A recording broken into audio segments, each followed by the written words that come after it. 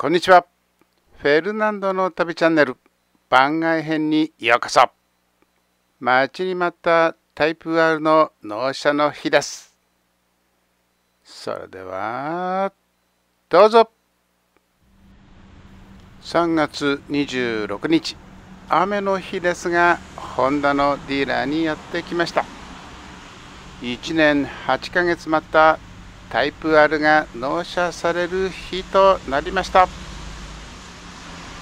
一回りして大きな傷がないかチェックします。晴れの日にしたかったのですが何回か納車日を変更しているのでもう帰れません。ホンダの赤バッジとタイプ R のロゴが普通の車ではないという佇まいです。タイヤもブレーキもタイプ R 仕様です。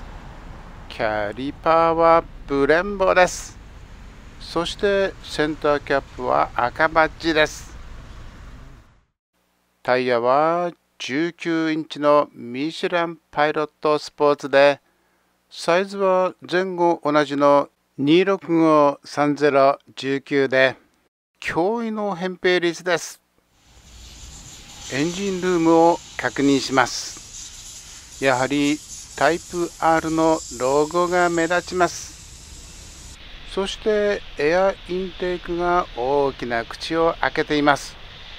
これは一般的には見ない場所にあり見たことがない大きさです。ボンネットを見上げると大きな開口部があります。空気を取り入れるのではなく空気を排出するためのものだと言います。助手席側のインストゥルメントパネルには固有のシリアルナンバーがつきます。赤と黒の配色の内装がおしゃれで走りにワクワク感をもたらしてくれます。定員4人乗りで後部座席は広い。今日は雨なので走行は明日にします。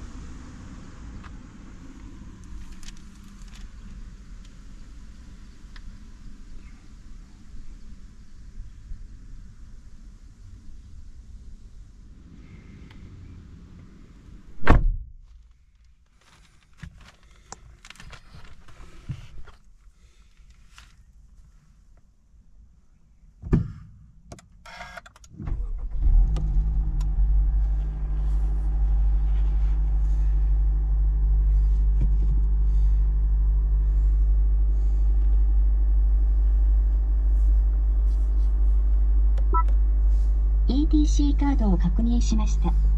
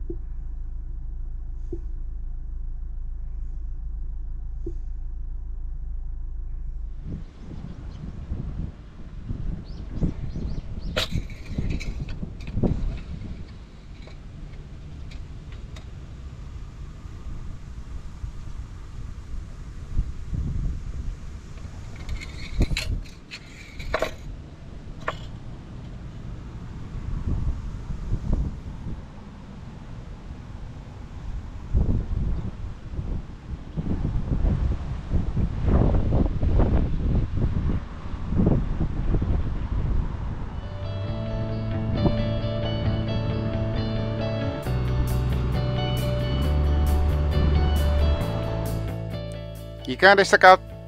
とうとうタイプ R がやってきました。この後走りに行きます。ご視聴ありがとうございました。